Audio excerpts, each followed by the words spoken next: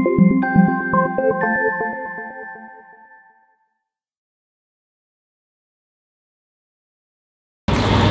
everyone, it's Sarah.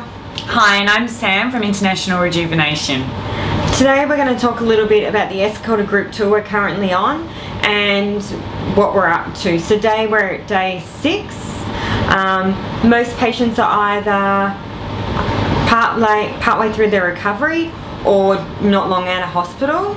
So the procedures we've had so far on this trip are Rhinoplasty, facelift, abdominoplasty, breast augmentation, breast lift, and some extensive dental work.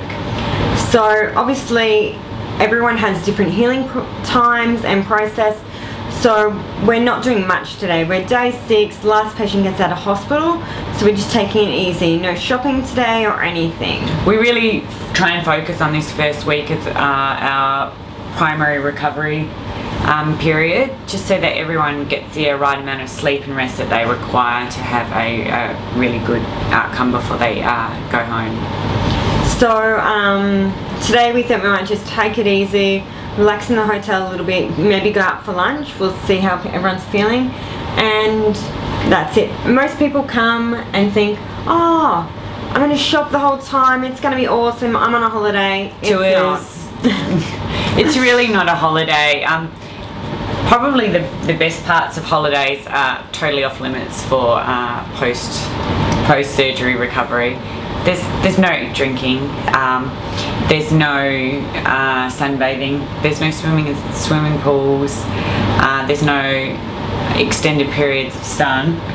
So um, there's no jumping on the back of elephants. So it really isn't a holiday. It's really a time just to focus on um, getting some good rest, some good sleep, some uh, good food, and just basically keeping away from husbands, children's, pets, jobs. Hmm. Everything that normally causes stress that we're happy to get away from, pretty much.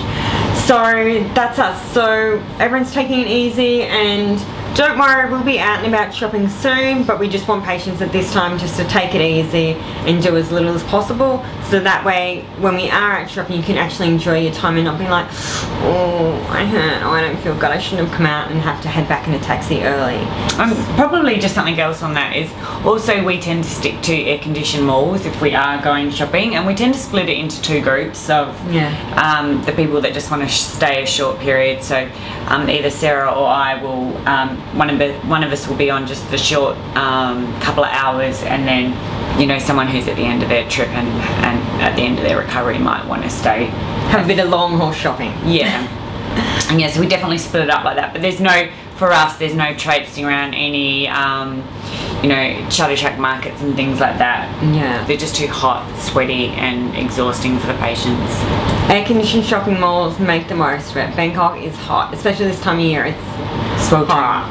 if you if you do want to do something like that, we, we really recommend that people come a few days before their trip. Yeah.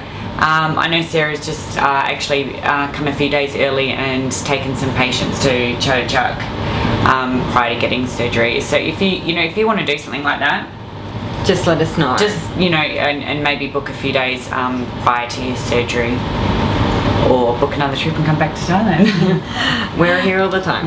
Okay, so that's it from now, day six, and when we're a little bit further in our group tour, we'll report back and tell you what we're up to. Alright, thanks for watching. Bye. Bye.